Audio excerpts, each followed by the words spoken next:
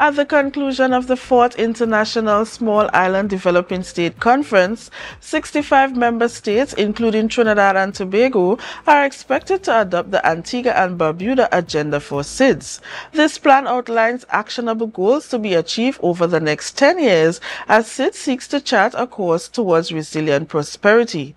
However, will this plan follow the path of the three previous similar plans that failed to meet their objectives? Find out in this report from Jackson, who is in Antigua and Barbuda covering the SIDS 4 conference.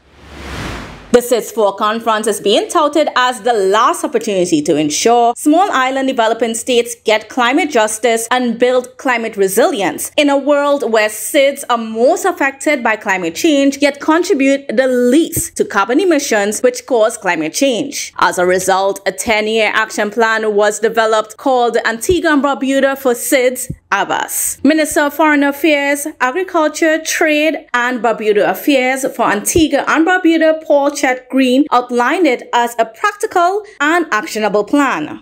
This means building infrastructure that can withstand climate impacts, diversifying our economies to reduce vulnerability, finding sustainable ways to manage our debt, and improve healthcare systems to handle pandemics better. It is hoped that ABAS is adopted by all SIDS governments, which includes Trinidad and Tobago, along with civil society and the private sector. But what happens if we are not able to achieve that 10 point plan? Three similar previous plans were adopted by such conferences, such as the Bridgetown Initiative, the Mauritius Initiative, and the Samoa Initiative. All three fell short of their targets. But Li Junhua, Secretary General of the conference and UN Under Secretary General for Economic and Social Affairs, believes this time it is different because it might be the last opportunity for getting it right, and though ambitious, it is a practical workshop. This uh, ABAS symbolizes the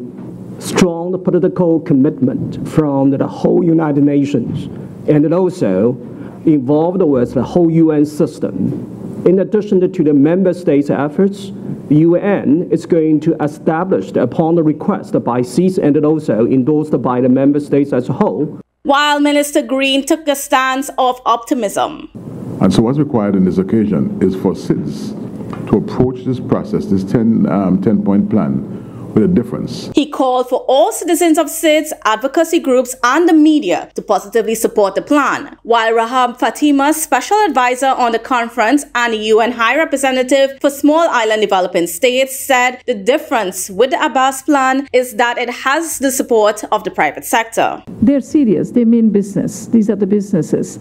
So they are very taking very seriously uh, the new program of action because they see concrete actions and commitments to take forward. There's business there for them. The SIDS 4 conference concludes on Thursday, 30th May. Kandace Jackson, Tobago Updates, Television News.